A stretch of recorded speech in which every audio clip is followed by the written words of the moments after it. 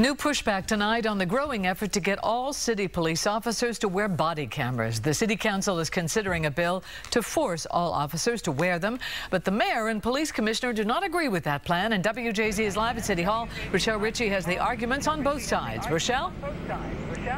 Well, Denise, the police commissioner has actually been in support of body cameras. It's the city solicitor who is calling this legislation illegal. The mayor says based on the city's charter, council members do not have the authority to interfere with the police commissioner's powers. But the council president, in his own words, telling WJZ this entire war of words is political BS.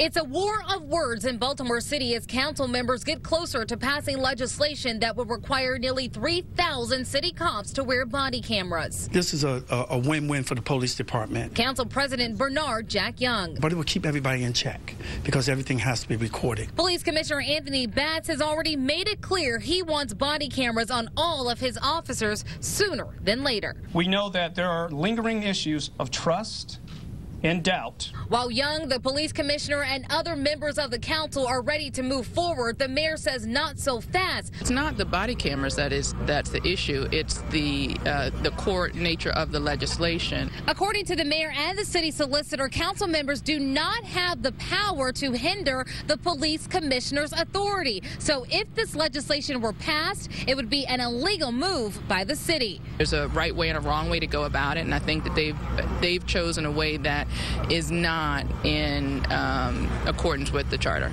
Is this an illegal move being taken by the city council? Absolutely not. And I can go back and talk about when we amended the curfew law. That's a police statute and ordinance. We did that. We did several things with the police department. It's all interpretation. It's all political BS. Young authored the legislation for body cameras in September after video of alleged police brutality played out in the media and a scathing report by the Baltimore Sun revealed millions of taxpayer dollars were paid out to victims of cops behaving badly. He says the argument over the words in the charter is a result of others in the city wanting to be the hero. I don't care who gets the credit. They can have the credit. Let's protect the police and the citizens of Baltimore. That's all I want. And the council president says while he certainly believes that the council is following the charter, he sent a letter to the Attorney General Doug Gansler anyway to make sure. We're live tonight. I'm Rochelle Ritchie, WJZ Eyewitness News. All right. Thank you, Rochelle. Now, the police commissioner has used body cameras before when he worked in other jurisdictions. Should Baltimore City police officers be required to wear body cameras? It's a question that's come up a lot lately after several high-profile allegations of police brutality. ABC 2 News' Christian Schaefer's here with the latest on the debate tonight. Well, Jamie, Baltimore City's mayor and her legal team don't believe the city council has the power to tell the police commissioner how to run his department. That did not stop the council from holding a hearing on that body camera bill tonight.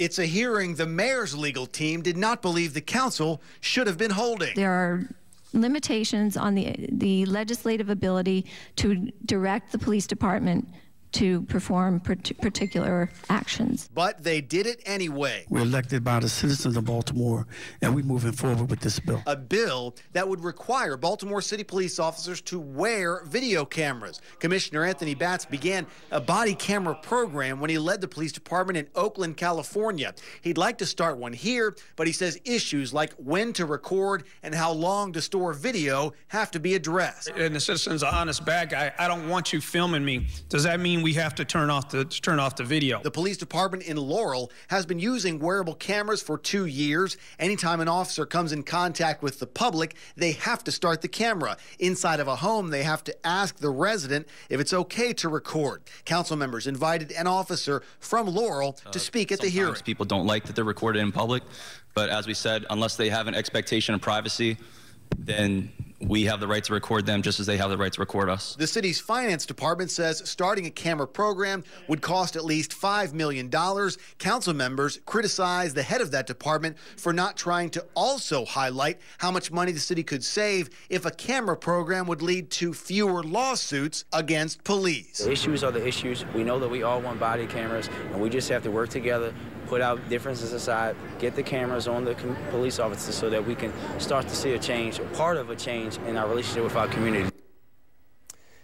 The Public Safety Committee passed that bill tonight, so it continues to move forward on that track. Now, the mayor has also formed a task force that is studying all those issues surrounding body cameras, like how much they would cost, when they'd be turned on, and how long video could be stored. There's no timetable, though, for when that task force will deliver its report to the mayor. Christian Schaefer, ABC 2 News.